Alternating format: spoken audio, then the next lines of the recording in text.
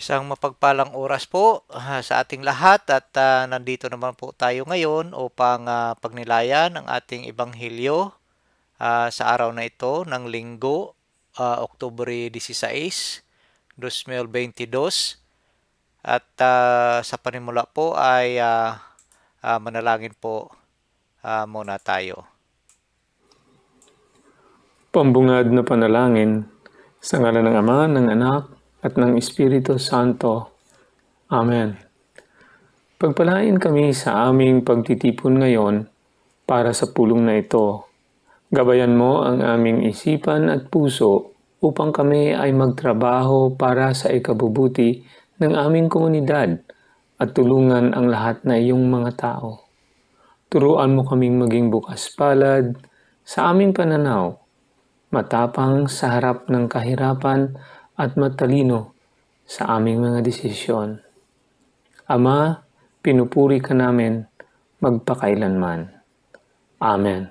Sa ngala ng Ama, ng Anak, at ng Espiritu Santo. Amen. Amen. Sa muli po, isang mapagpalang oras at uh, binabati ko po ang ating mga taga-subaybay sa munting channel na ito uh, naway nasa mabuti po kayong kalagayan saang dako man kayo ng mundo. At uh, samahan niyo po kami sa uh, aming pagninilay sa ating uh, Ebanghelyo sa araw na ito ng linggo sa Pilipinas. At uh, babasahin na po natin ang ating uh, uh, Ebanghelyo sa araw na ito ng linggo. Ang mabuting balita ng Panginoon ayon kay San Lucas, Kapitulo 18, versikulo 1 hanggang 8. Papuri sa iyo, Panginoon. Noong panahong iyon,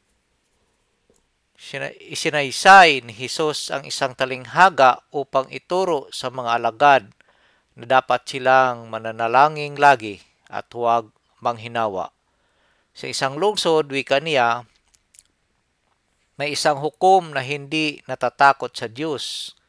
Sa Diyos at walang taong inagalang. Sa lungsod ding iyon ay may isang babaeng balo na punta ng punta sa hukom at humihingi ng katarungan. Tinanggihan siya ng hukom sa loob ng ilang panahon. Ngunit nang malaunan ay nasabi nito sa sarili, Bagamat hindi ako natatakot sa Diyos, ni gumagalang kanino man, igagawad ko na ang katarungang hinihingi ng babaeng ito sapagkat lagi niya akong ginagambala. Baka pa ako mainis sa kapaparito niya. At sinabi ng Panginoon, narinig ninyo ang sinabi ng masamang hukom hindi ipagkakait ng Diyos ang katarungan sa kanyang mga hinirang na dumaraing sa kanya araw-gabi, bagamat tila nagtatagal iyon. Sinasabi ko sa inyo, agad niyang igagawad sa kanila ang katarungan. Ngunit pagdating ng anak ng tao sa daigdig na ito, may makikita kaya siyang mga taong nananalig sa kanya? Mga kapatid, ang mabuting balita ng Panginoon. Pinupuri ka namin, Panginoong Heso Kristo. So, uh, yun po ang ating Ibanghilyo uh, sa araw na ito ng uh, linggo sa uh, Pilipinas. At uh, ngayon po ay uh, pagnilayan na natin ang ating uh, Ibanghilyo na ito Ayon kay San Lucas, so ang ating Panginoon dito ay wala lamang ibang sinasabi palagi kundi ang uh, manalangin po tayo, no? Kung tayo po man ay may uh, dinadaing sa ating uh, Panginoon, uh, ano man yun katagal, ipagpatuloy lang natin, no? Dahil sometimes our prayers is not answered right away because ito po ay hindi pa nararapat at may mga hinanaing tayo o dinadaing tayo sa ating Panginoon na hindi niya talaga ibibigay dahil hindi ito karapat dapat sa atin. Ang ating Panginoon ay alam niya kung anong ating pangangailangan. But sometimes uh, may mga uh, dinadaing tayo na taliwas sa kagustuhan ng ating Panginoon. But then, sinasabi niya dito na uh, wag po tayong tumigil ng pagdadasal. Kasi ang pagdadasal, ito po ay uh, buhay natin. Uh, buhay natin para tayo po ay lalong uh, mapalapit sa ating Panginoon. No? Uh, in our persistent prayer, ang Panginoon ay uh, sometimes, no, or most likely, lahat ng pagkakataon ay hindi makatiis sa atin. Basta ito pong ating dinadaing at uh, sa ating Panginoon ay uh, na, uh, karapat dapat para sa atin. So, mamuhay tayo na lagi tayong nananalangin, hindi lang sa ating uh, hinihingi na uh, mga bagay, no? kundi manalangin din tayo sa pasasalamat at papuri sa Panginoon sa lahat ng mga grasya na binigay niya sa atin. Lalo-lalo na yung mga grasya na uh, yung bang sabihin na natin mga answered prayers. Uh, dito ipanalangin din natin ang uh, kaligtasan ng ating mga kaluluwa ano uh, at mga kaluluwa ng mga yumao na uh, ang ating Panginoon dito uh, nagsasabi, hindi pagkakait ng Diyos ang katarungan sa kanya mga hinirang na dumaraing sa kanya araw-gabi. Bagamat tila nagtatagal iyon, sinasabi ko sa inyo, agad niyang igagawad sa kanila ang katarungan. So yun. So ang ating Panginoon ay ang Panginoon, mahabaga, uh, mahabaging Panginoon, uh, mapagmahal. Kaya kung ano man ang ating dinadaing sa Kanya, ay uh, Kanya itong pakikinggan. Uh, at sinasabi ko na, uh, magtatagal lang yon kung at hindi ibibigay kung hindi ito po karapat dapat sa atin. So may may, may mga ilang ilan sa atin na sometimes pag tayo po ay nagdadasal at hindi uh, maibigay o hindi na sa katuparan ng ating uh, dinadaing sa ating Panginoon ay uh, nagtatampo kaagad, no? Ay, hindi na ako magsisimba. Ganon. hindi na ako tutulong dahil hindi naman na na rinig ang aking dinadaing, no? Ang aking mga panalangin. Ayaw ko na. Ayaw ko nang lumapit ng simbahan. So mga kapatid, tandaan natin, uh, habang tayo ay lumalayo sa Panginoon, tayo po ay isang taong talunan. No? Talo tayo dun. Iwanan man natin Panginoon, talo tayo. 100% talo tayo. Hindi tayo mananalo dyan. So kung sinasabi ko na, kung hindi man nasagot ang ating mga panalangin, ang ating mga dinadaing, ay magpapasalamat pa rin tayo sa Panginoon dahil kung uh, ibibigay man sa atin ang ating dinadaing, lalo-lalo na pag nagdadasal tayo na manalo tayo sa luto, o, oh, ibibigay sa atin, eh kung mapasama lang ang buhay mo, o di alam na ng Panginoon yun, na hindi karapat dapat sa iyo, lalo-lalo na kung ikaw ay isang hinirang, no? So, ang Panginoon natin ay Panginoon na makapangyarihan at uh, alam niya ang ating mga pangangailangan. Minsan nga may mga bagay na hindi natin dinadasal pero kusa lamang dumarating sa atin. Dahil alam ng Panginoon ang ating mga pangangailangan. But ang sabi ng ating Panginoong Heso Kristo na tayo po ay uh, huwag tumigil ng uh, pagdadasal, ng pananalangin. Dahil ito po ay nagbibigay buhay sa atin, nagbibigay buhay din sa ating Panginoong nagmamahal sa atin nagbibigay buhay sa Panginoon para po tayo ay uh, lalong mapamahal sa Kanya. No? So mga kapatid, uh, pray uh, without ceasing. Uh, dapat lang tayo uh, persistently manalangin. Dahil ang Panginoon natin ay palaging mm, nakikinig sa atin pinapakinggan niya ang ating mga panalangin. Bag bagkos, sometimes, ang panalangin natin ay hindi panalangin na sa ating uh, uh, kalooban, kundi yung mga uh, nananalangin tayo sa isang uh, material na bagay, sa mga attachment dito sa mundo, no? But then, uh, sinasabi ko na, hindi ito maibibigay sa atin pagkat alam ng ating Panginoon na ito po ay hindi makabubuti sa atin. So mga kapatid, huwag po tayong tumigil ng panalangin para po tayo ay uh, magkaroon ng isang uh, magandang buhay sa kabila ng mundong ito.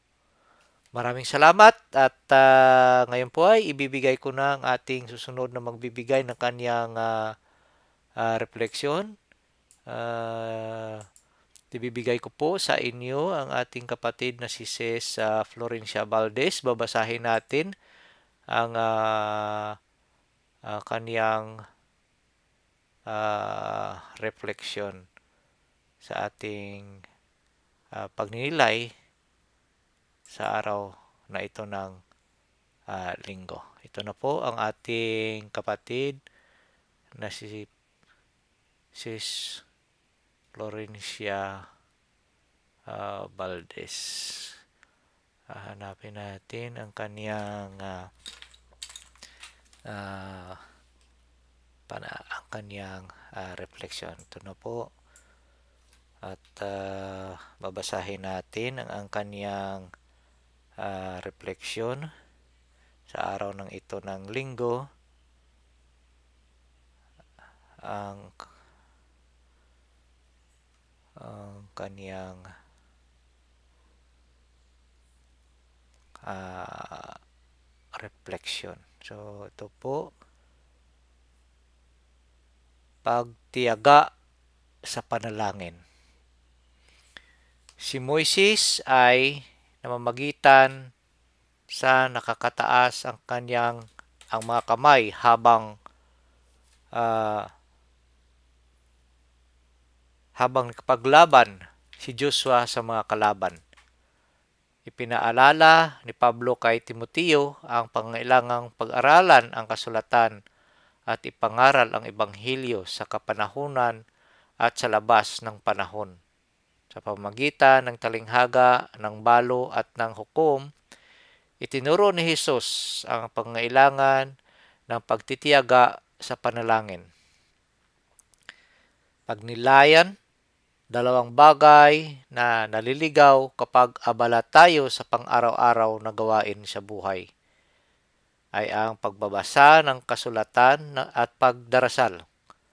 Ang mga kagyat na pangailangan sa buhay ay napakalaki na ang paggugol ng oras sa pagbabasa ng Biblia at pagdarasal ng paisa-isa o sama-sama ay parang luho.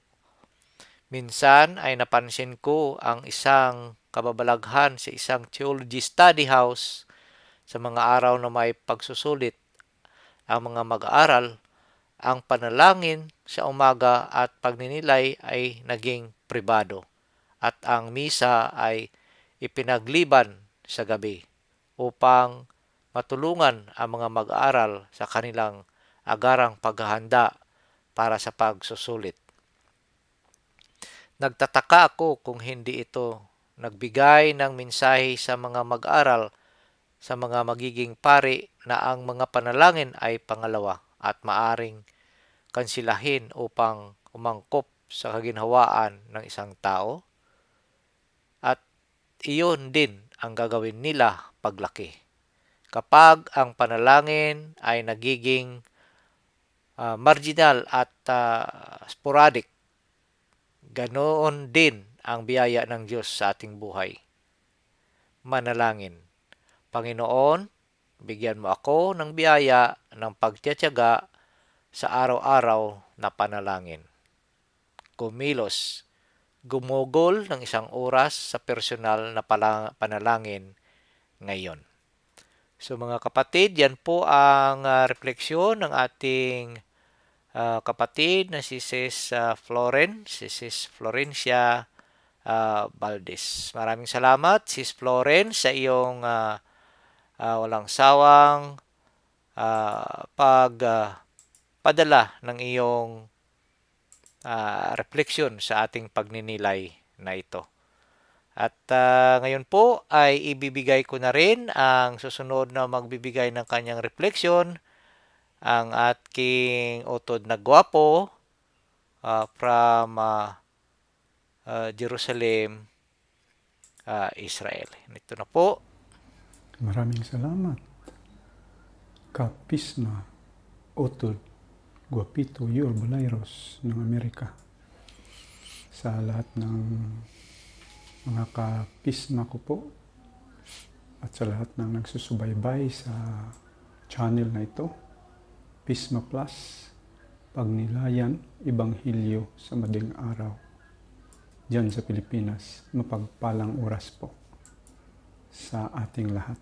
At uh, pasensya na po na may mga background po ako kunti dahil nandito po ako sa aking amo dito sa labas lang po at uh, para magnilay sa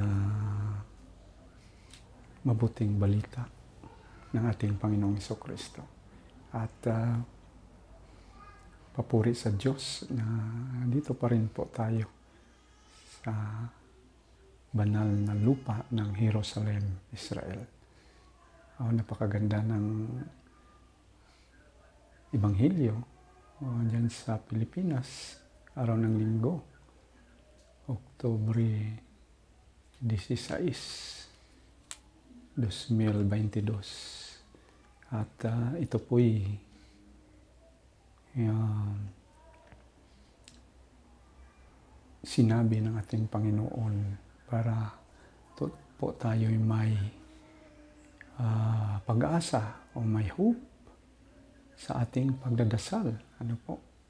Tinuturuan po tayong maging uh, mapag pakumbaba uh, patuloy lang na mag uh, hingi ng mga hinihiling po natin sa Panginoon. Kung hindi pa panahon na hindi niya pa nabigay ang ating hiniling para sa ating kabutihan, patuloy po natin gawin ang pagdasal. Sabi nga sa ibang talata ni San Pablo, pray without ceasing. Ito po ang palagi kong uh, binabanggit sa tuwing uh, magnilay po tayo. Ano? Po, uh, tulad ng uh, babaeng balo na naghingi ng justice sa walang ang Diyos. Hindi po siya ang judge na pinupuntahan niya palagi ay hindi nga na uh, kumikilala sa Panginoon at walang kinatatakutan. Ngunit sa kanyang pabalik-balik ay binigyan po siya ng hustisya ang babaeng balo. Yun din po uh, ang isang hukom na hindi nga po naka uh, kilala ng Diyos at walang katakutan ay eh, nagbigay ng inihiling ng babaeng balo. Tayo pa kaya na humihiling sa Diyos Ama sa pamagitan ng ating Panginoong Iso Kristo. Uh, yun po. Na kailangan pray without ceasing. At uh, kung uh, ating pag-usapan ang panalangin ay ito pong ating mga kapatid na Hudyo ay hindi mo po pwedeng isang tabi dahil ang religious na Hudyo ay maraming oras sa kanilang pagdadasal. Ano po? alas 9 ng umaga, magminyan, uh, sampung uh, Hudyo na mag mag uh, worship, praising sa Panginoon. Uh, dahil sa kanya, sa kanila ay kailangan ang highest na prayer po ay gawin ng sampu na audio. Yan po, no? Uh, itong mga alas 9, ala 1 o alas 2 at sa hapon uh, kalimutan kong tawag sa hapon ng mga alas 3 at ng mga alas 6 na kanilang pagdadasal. Um, yun ang ano po no? Uh, last day po ang linggo ng gabi. Last day uh, last night po nila ng kanilang holidays at um, ng Sukkot ano po uh, Feast of the Tabernacles o itong kubo na uh, kanilang naalala nung lumabas po sila sa Ehipto. Nung lumabas po sila sa Ehipto at sa ilang po sila ng 40 years. Po, ano? At uh, lunes, uh, mula ng ling mamayang uh, gabi ng Sunday ay wala na pong uh, public buses at uh, ano, wala nang trabaho, lunes, balik naman sa lunes ng gabi. At pagka martes, ay yun ang pagsayaw ng kanilang tura, uh, prosesyon ng tura. At yun ang tinatawag Simkas Tura. So, mga walong araw po ito, pitong uh, um, holidays sa Sukot at isang araw sa Simkas Tura. Uh, yun ang end ng kanilang holidays sa buwang itong Oktubre at doon naman sila mag-holidays sa Disyembre uh, tugma din po sa ating Christmas, no? ang kanilang kanuka. Uh, walong araw naman po na holidays nila. So, yun po, ano, balikan ko ang gospel natin sa madaling araw dyan sa Pilipinas, linggo. Um, matuto po tayong magbata at walang tigil na pagdasal. Lalo na po sa pagdadasal natin sa kapayapaan sa buong mundo, pagmamahalan at sa ating uh, isip, puso at kaluluwa ay damhin natin ang pagmamahal ng Panginoon at ito po'y bahagi sa bawat isa. Yan po lang muna ang aking maibahagi sa madaling araw na Ebanghelyo dyan sa Pilipinas dahil uh, maingay na po aking paligid. At uh, maraming salamat po sa inyong suporta, pagtangkilik at pagsubaybay sa channel na ito. Uh, salamat sa inyong dasal, financial na support. Kasama din po, pinapasalamatan ko itong aking mga ka-pisma dito po sa channel na ito. Uh, shalom, Belehetraot. Ito po ang inyong lingkod, Brother Romel, ng Rebilla ng Holy Land of Jerusalem, Israel. Papuri sa Diyos. God bless us all. Todaraba likulam. O. Maraming salamat, uh, Utod kong Gwapo from uh, Jerusalem, Israel. Sa lahat-lahat, uh, marami pong salamat sa, iyo, sa inyong walang sawang uh, pagsubaybay at pagsuporta sa munting channel na ito. Uh, naway ang uh, Panginoon ay gagabay sa atin sa araw-araw nating pamumuhay. At uh, naway uh, wag po tayong uh, makalimot na magdasal palagi. Hilingin natin sa ating Panginoon na bigyan tayo ng kalakasan uh, para po tayo ay uh, hindi madaig ng kalaban para po tayo ay tumigil ng ating uh, pagdadasal. So, sa muli, isang mapagpalang oras sa ating lahat. At bago tayo magwakas, ay uh, manalangin po uh, muna tayo. Prayer for the indwelling of the Holy Spirit. In the name of the Father, and of the Son, and of the Holy Spirit. Amen. Holy Spirit, powerful consoler, sacred bond of the Father and the Son, hope of the afflicted, descend into my heart and establish in it your loving dominion. Enkindle in my tepid soul the fire of your love, so that I may be wholly subject to you. We believe that when you dwell in us, you also prepare a dwelling for the Father and the Son. Deign, therefore, to come to me, consoler of the abandoned souls and protector of the needy. Help the afflicted, strengthen the weak, and support the wavering. Come and purify me.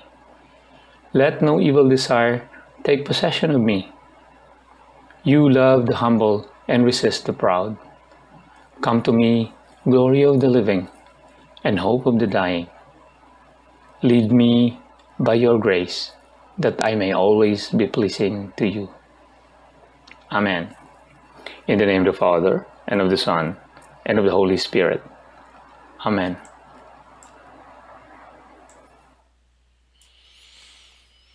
Father, the Son, the Holy Spirit.